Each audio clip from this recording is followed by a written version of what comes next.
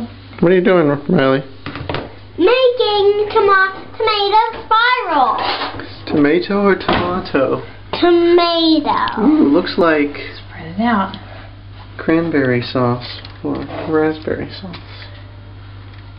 What are you doing to the face? It's time to spread it out. Remember, it's like painting. Riley looks like an outsider artist. spread it all the way to the edges. It's gentle, do small. Okay, Riley, what are you putting on the tomato spirals now? Basil. Basil or fresh basil.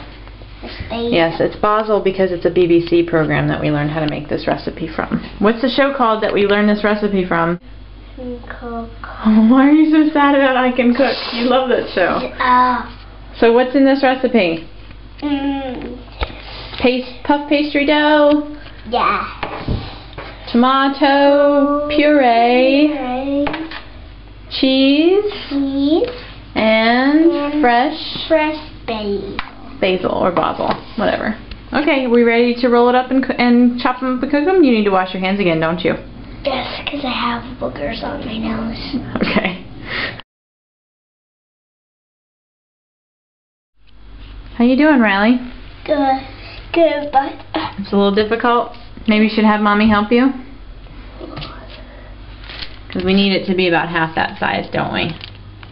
That piece that you just cut. Okay, I'll help you. You're doing a great job, honey.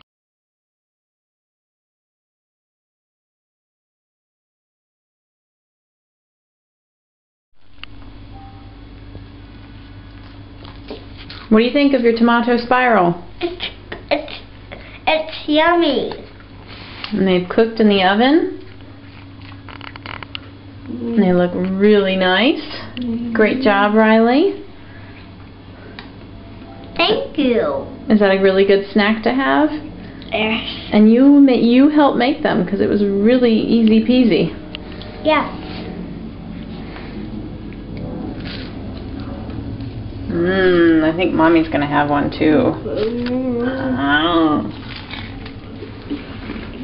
Mmm, they are good. Delicious. Magnifique. Bon appetit!